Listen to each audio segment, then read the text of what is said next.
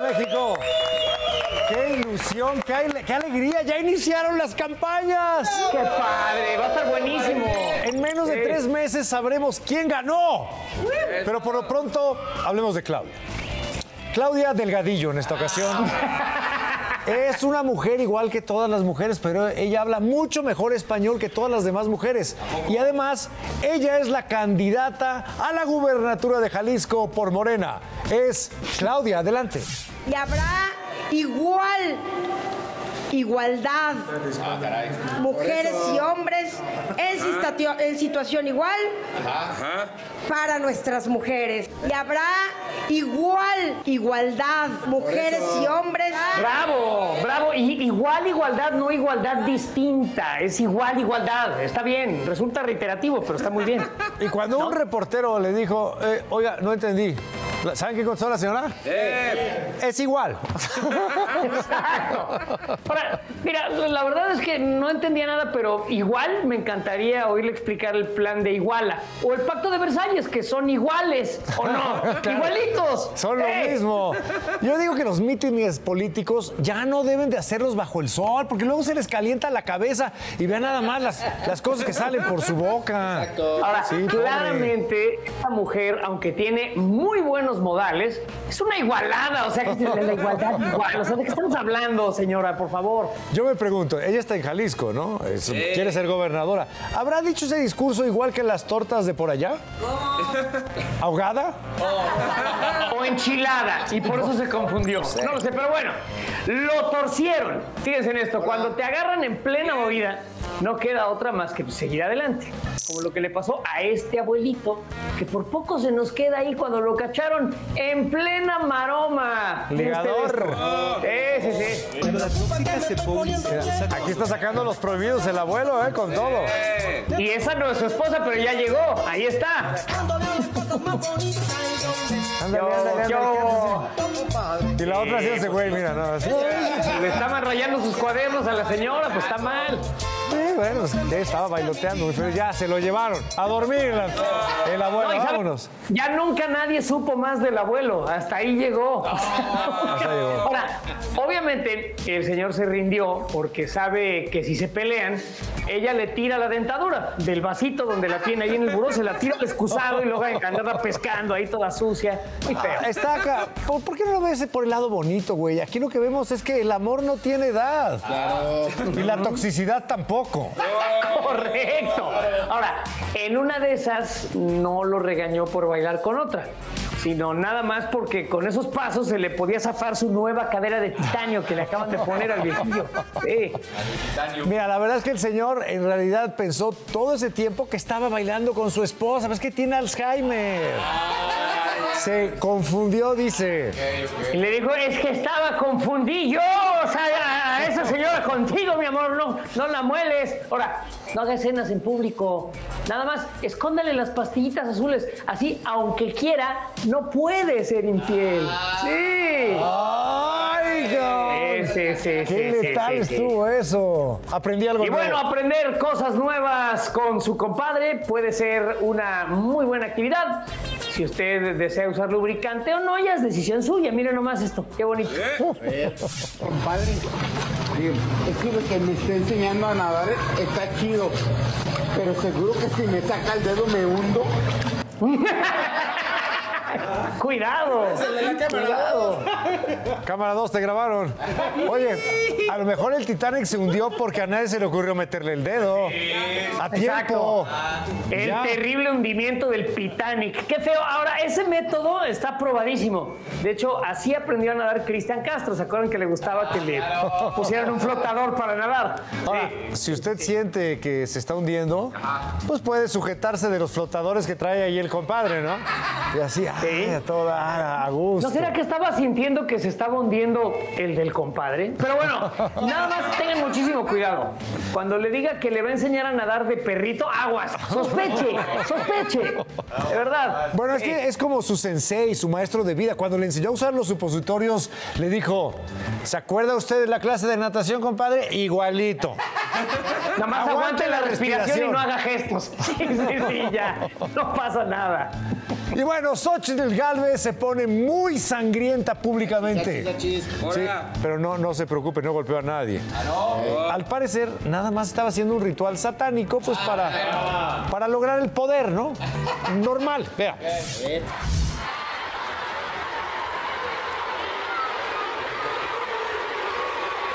Se sacó sangre.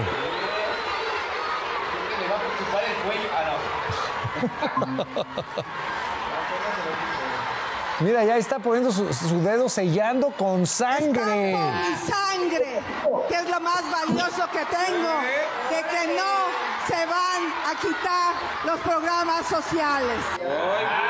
Con sangre, pero eso es, eso es como del medioevo, ¿no? Como que con sangre, o es brujería, no entiendo. Bueno, es que eso sí que es austeridad republicana, ahorrarse las plumas y ahorrar en tinta y firmar con sangre. Bien ahí, Xochitl.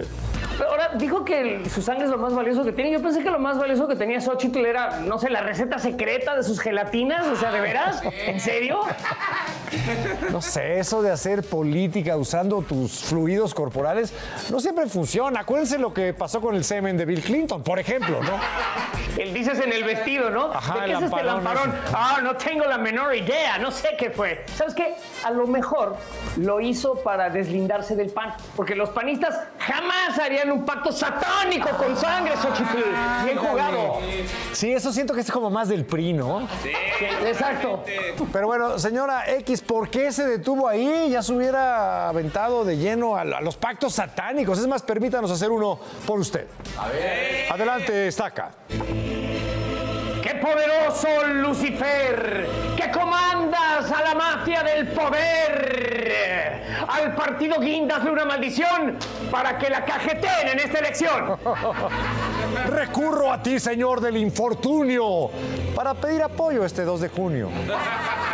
Y si un pacto de sangre no basta, te cocino un espagueti u otra pasta. Dale tu poder a la dama gelatina y que Morena gobierne, no sé, en Palestina. ¡Listo! ¿Qué? ¿Qué? ¿Yo también tengo que firmar con sangre? Perdón, pero no, acabo de ir al SAT, no me queda ni una gota.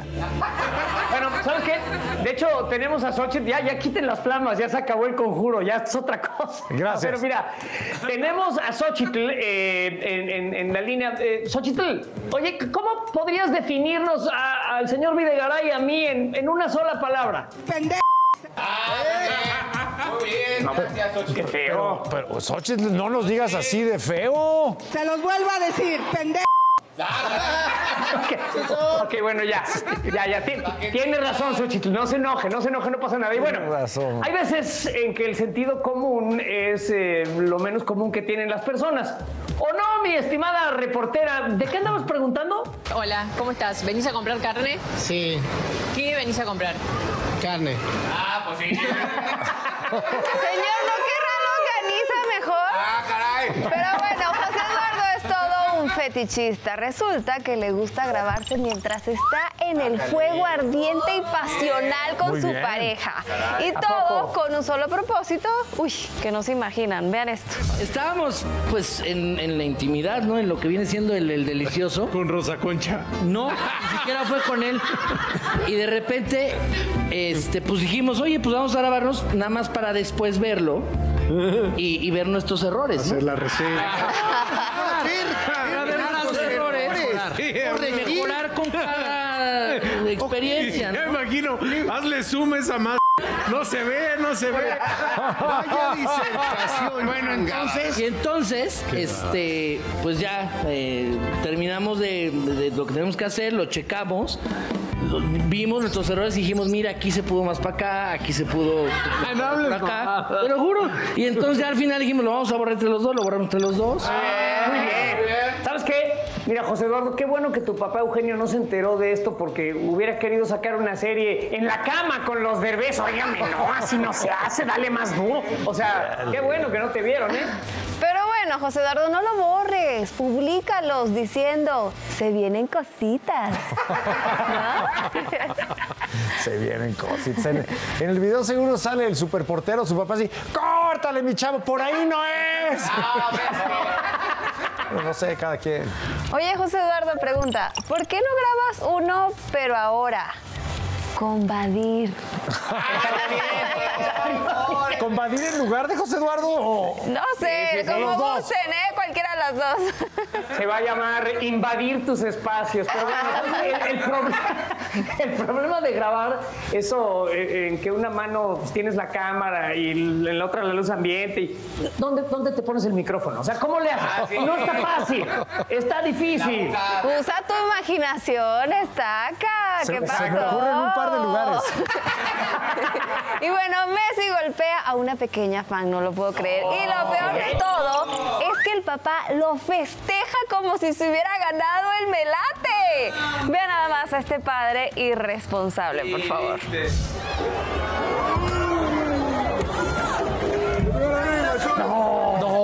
pegó a la niña directo. ¿Qué? Pero te, pero te dio Messi. Messi, no.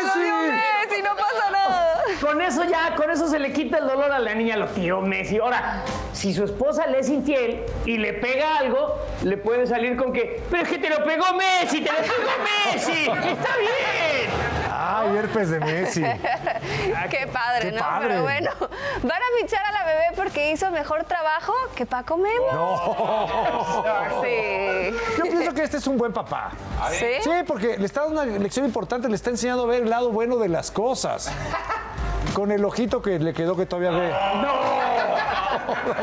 Qué feo, Eduardo. No es cierto, está bien. Bueno, o sea, sí está mal, pero entre que te den un balonazo la Jun o que te lo dé Messi, digo, hay niveles, ¿no? Sí, sí, que, que me lo dé No, Además, Messi. ¿sabes qué? El papá se ahorró los souvenirs y recuerditos porque la niña va a salir de ese estadio con un trauma, con daño cerebral y con una gran, gran anécdota para toda su vida. Ya, te puedes ir feliz, niña. Pues sí, es que te lo dio Messi, te lo dio Messi. Pero bueno, pudo ser peor.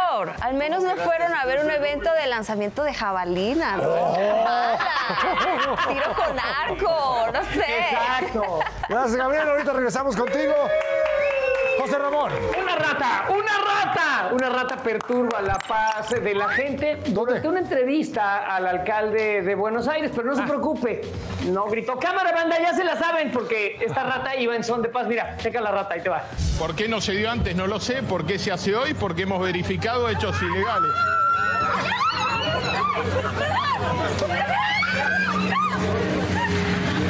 Ahí está. ¡Wow! Rápido, rápido. Atrapen a la rata, dijo un argentino. De ahí salen dos comidas.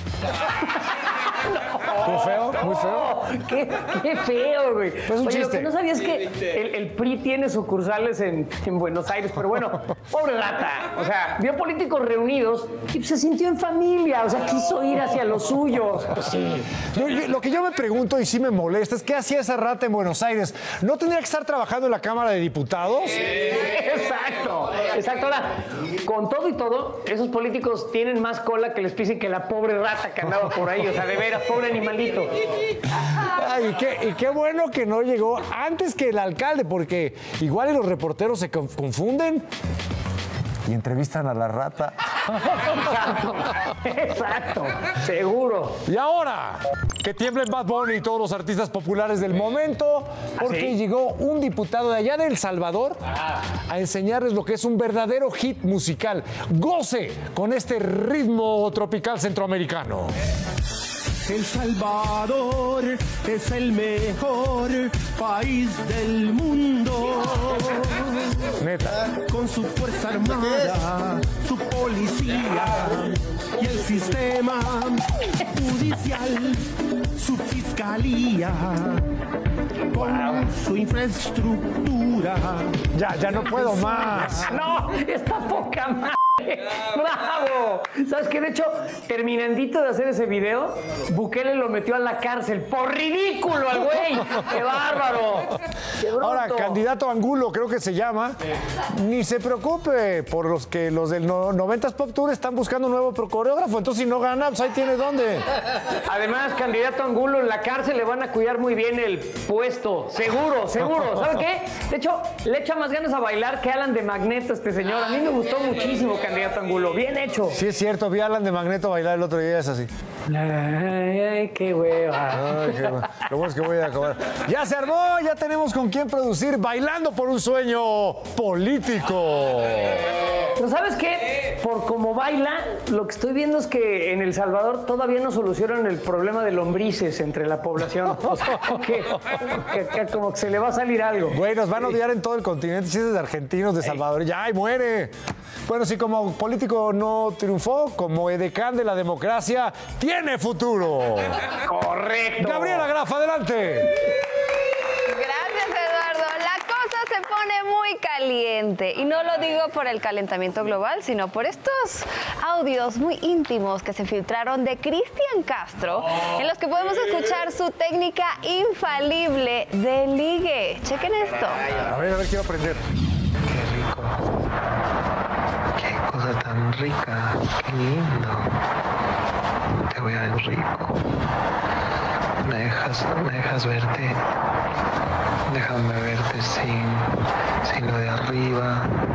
Déjame verlas. Y abajo también déjame ver. ¿Me dejas? Por favor. Ay, ay, me dejas, me dejas. Bueno, por lo menos sabemos que es un hombre educado, ¿no? Siempre pide las cosas por favor. Exacto.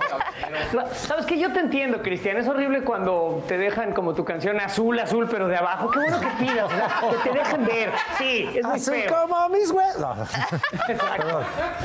A ver, pero qué inapropiado. ¿Cómo le manda este tipo de mensaje al presidente Javier Milei? ¿Ah? Eso sí, No eso sí. entiendo. Fíjate, lo que sí me llamó mucho la atención es que cuando Cristian anda caliente, pierde el acento argentino. Yo también cuando estoy caliente no hablo como argentino. Qué curioso, ¿no? Sí, qué curioso. Pero bueno, tampoco habla con acento argentino es Luis García, que ya no le alcanza para mantener a sus cuatro hijos y tuvo que aceptar un segundo trabajo que lo aleja del deporte, pero lo acerca cada vez más a usar minifalda y tacones. Vean esto. ¿El doctor? Está en el pronóstico del tiempo. ¿Cómo está, Don García. Cristian? Este, Azteca Deportes se cae a pedazos, Azteca Deportes se cae a pedazos. Venga. Tengo cuatro hijos, tienen que tragar, entonces a final de cuentas tengo que empezar a, a buscarle algunas otras opciones. Usted es el doctor. Entonces vamos, vamos al, al- al clima. O sea, físicamente no estoy ni cerca, ¿no? De poder no estar a la altura del clima. Vamos, este, al, al noroeste tenemos Sonora, ¿ah? 28 la máxima, 8 la, la mínima. Aquí estamos, parece que viene un, un viento de Polonia, que tú que sabes, es un viento polaco para que se, se, se tape bien las partes, no vaya a ser la de malas. ¡Pim! Echarle- Ahí estamos. Colima. ¿Dónde está Colima? A ver. 35 clase de la geografía es esto, O sea, ¿no? es- es- aparte, es de ¿dónde está Colima? O sea, ahí está, ahí está Colima. Ahí, güey. Dame la otra, por favor, productor. Maldita sea. Y Oaxaca, 34 máxima, 10 la mínima. Se dice que por ahí, esta de la península de Yucatán, que se sienten como un país, los va a partir un rayo y ahora sí ya van a, ser, van a poder ser un país. Ahí está el, el- el clima, una cosa realmente tristísima, tristísima. ¡Bravo! Muy bien, muy bien, doctor. Pero yo siento feo verlo haciendo esto. Tantos años de estudiar medicina para acabar hablando de clima, doctor. De veras, qué feo. No, pero lo hace, lo hace muy bien. De hecho, lo hace también que si no fuera porque está pelón, yo hubiera jurado que no era Luis García, sino Janet García. Sí, sobre todo. Sobre todo por las nalgas. Y bueno, el aire polaco puede ser tan peligroso como divertido, ¿no? Correcto.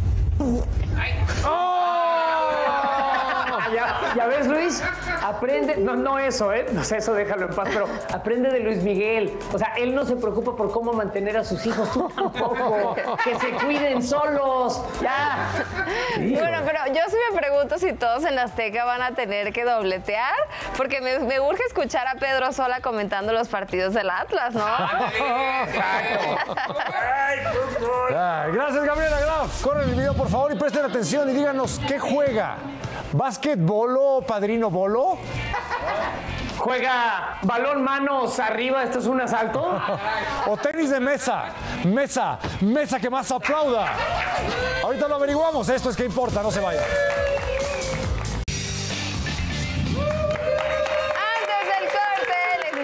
La pregunta, ¿qué juegan aquí en este video? ¿Será básquetbol o padrino boló? ¿Es balonmanos arriba? ¿Esto es un asalto? ¿O es tenis de mesa? Mesa, mesa, mesa que, más aplauda. Ese me gusta. A ver.